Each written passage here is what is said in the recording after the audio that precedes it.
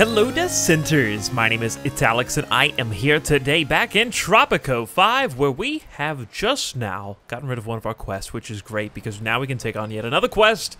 We got two kind of waiting in the wings. I don't even know what they are, so we're going to find out together. But first, I want to update you on a few minor changes I've made to the city, and we've got a couple more mansions here.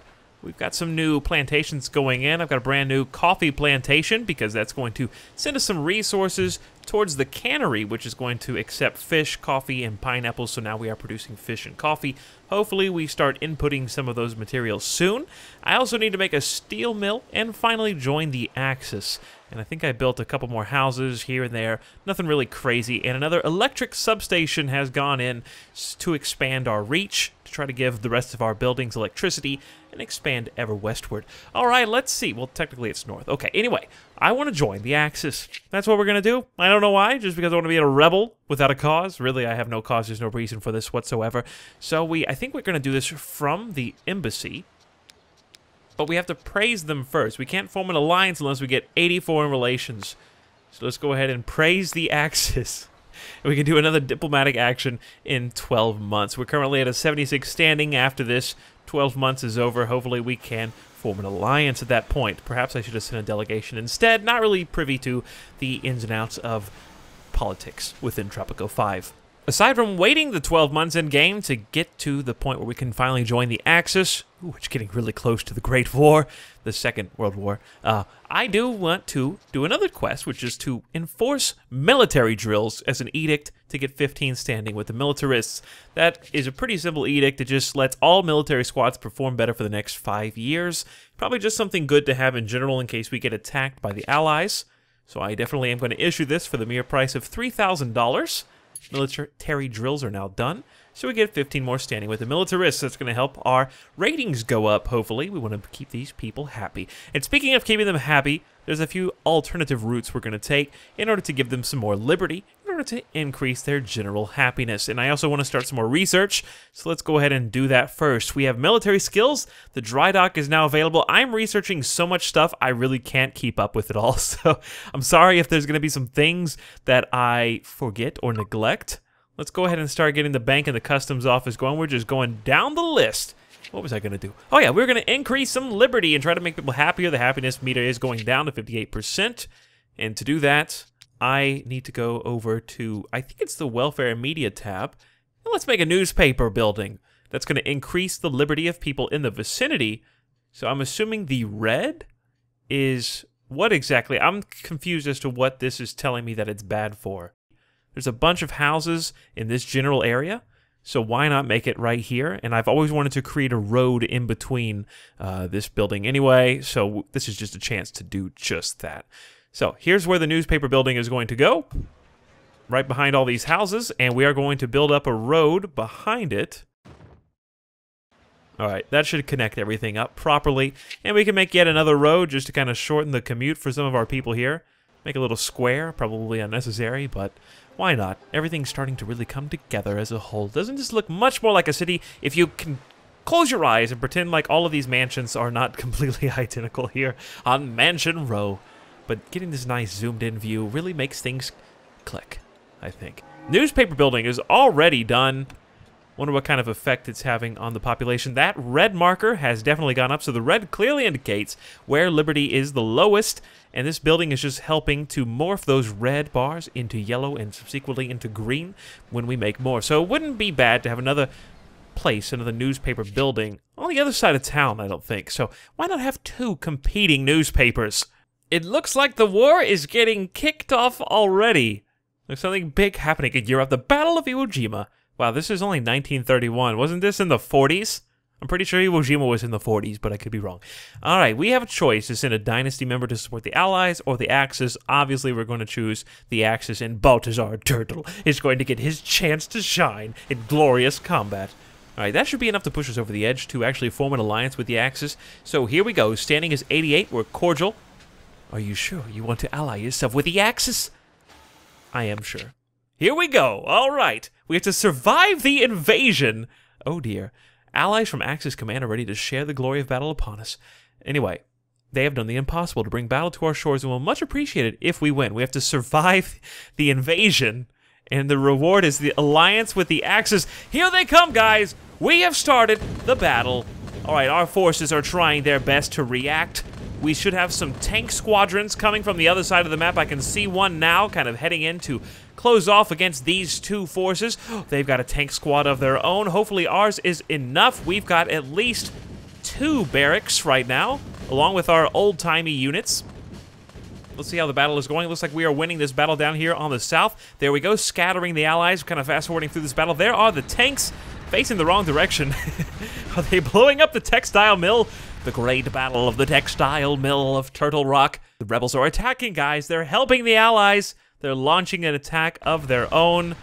Oh dear. But don't worry, we have a tank squad wiping out our enemy tanks right now. Flaming tanks in the streets.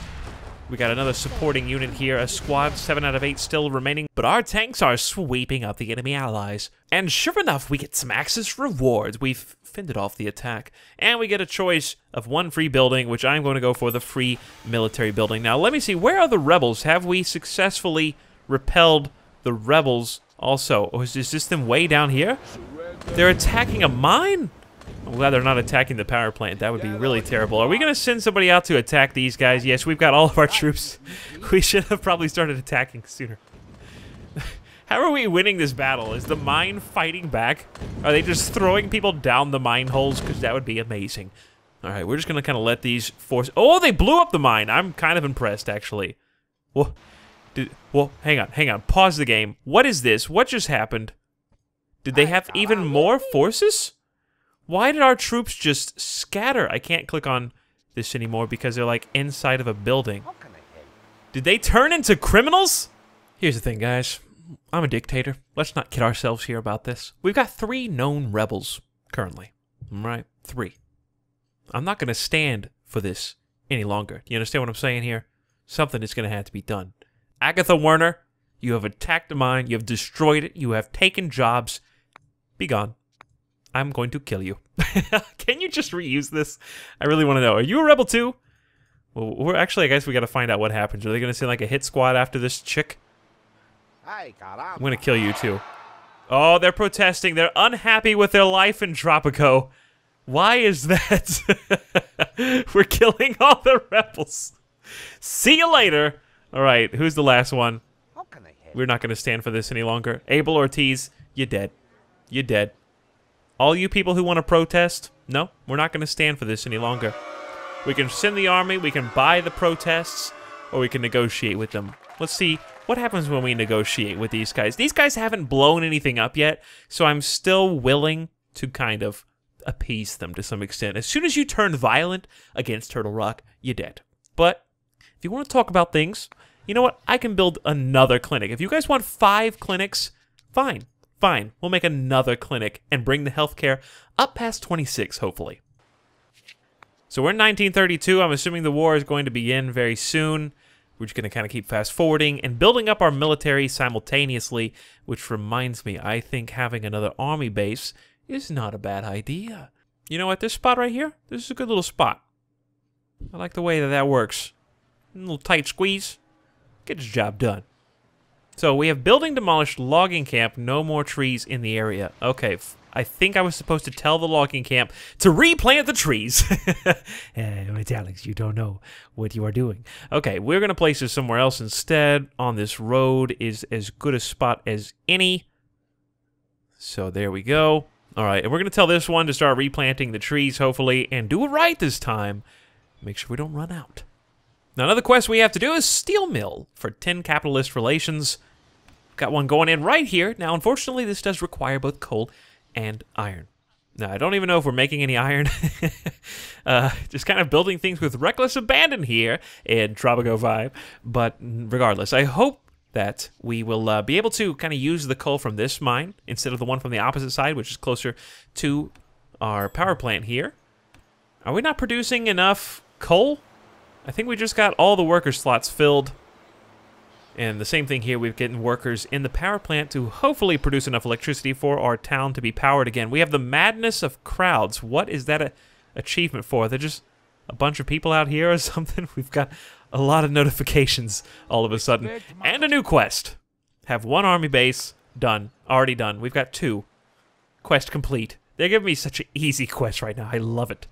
Now, can this restaurant please go away? Thank you. Now I'm going to make a college only $14,000. Boy, is it expensive. Why can't... Oh, it's not done demolishing yet. Okay, I'll wait. I'll be patient. And now we can place a college down here. Right next to the church. It's just a nice looking part of town, I gotta say. Getting fancy. We're gonna need some teachers. We got a 65% approval rating, highest ratings ever. Etalyx is doing good. But we are running low on workers everywhere, and I'm gonna need to up the budget for these guys. I. What am I seeing? Oh no, we don't have any water. It's so hot. I'm starting to sweat, guys. All of our plantations are dying. What are we supposed to do? What did that say? We've got some people protesting, unhappy with their life. All right, we can either send an army, buy them off, or negotiate with them. Let's try to negotiate. One construction office. Okay, fair enough. We get 15 standing with the communists. These guys are really easy to appease. Well, the drought is finally over, the rain pours forth, and our people are going to live to see another day. All right, I think we've done quite a bit in this episode. We've got a college. We're now pumping out some graduates, which are going to go work at other jobs. We do need some more people to teach there. But our brave heroes are back. Oh, oh! The dynasty member is dead, but we got Axis relations. and our soldiers are back. They killed my turtle baby. Baltazar Turtle. He's dead. I have no heir. And why do we have this full-fledged ghetto forming behind the mansions here? That is so bizarre. I wish, I wish, I guess there is a way to get rid of them, but, uh, it, I have to demolish them and kick them out of their homes. I've tried everything, guys. I've built a whole bunch of country houses out here to try to give our people some residences. There's so many homeless people everywhere. We got 40 unemployed, 37 open jobs, so these numbers don't mix whatsoever. Our people have 82 homeless. All right, we're going to have to make some more tenements, but we'll do that next time.